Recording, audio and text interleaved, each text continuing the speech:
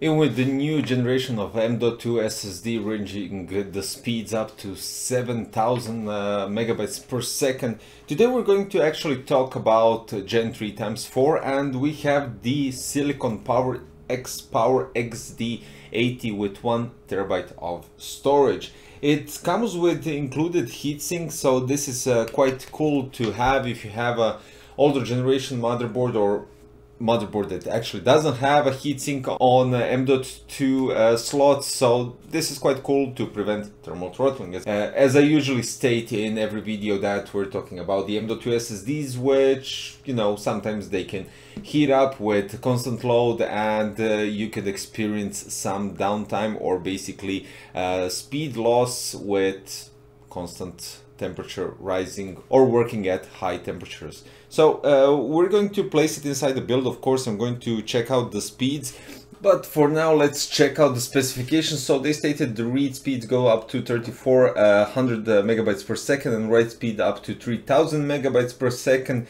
It's featuring SLC caching and DRAM cache buffers, so it kind of peels rubber with blazing read-write speeds. The heatsink lowers the temperature by 20%, uh, eliminating lag while keeping it cool, so as already stated, uh, prevents it from thermal throttling and maintains the stability of transfer speeds with the compact size and with the heatsink that is uh, specially designed. You can place them in other machines let's put it that way and not only in uh, your regular PC so for instance laptops. And this is cool because uh, laptops tend to get hotter and with the heatsink you get some uh, thermal dissipation without any additional uh, heat going through it because because laptops tend to get uh, hot during uh, some uh, high load uh, work jobs or whatever and the heatsink can prevent that. So let's check the actual speeds in tests.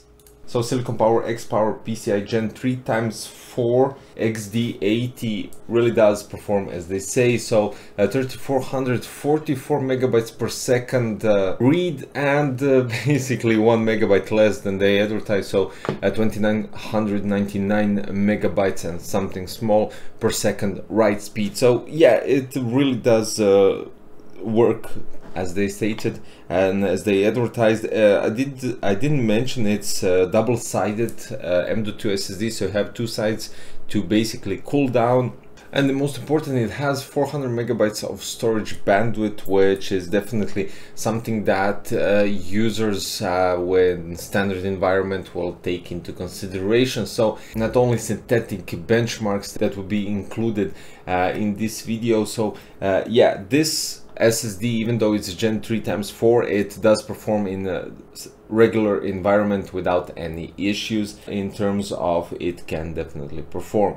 Now, this build you might have seen already three times, but uh, you can also see right here behind the CPU tower cooler their new actual uh, Zenith rams which I have right here and they're quite interesting. First of all because of the height clearance and I do like to mention that because of the height, height clearance and they can fit CPU tower coolers quite nicely. So even though this video is basically based for the uh, M.2 SSD I just like to point out that the Zenith first of all the RGB is insane looks cool and crazy and uh, secondly they fit because they are almost low profile and that's it. So guys yeah uh, xd80 x power from silicon power is quite an outstanding m.2 ssd if you're looking for something that uh, can perform quite nicely for gen 3 you don't want to spend too much money but still want performance quality and endurance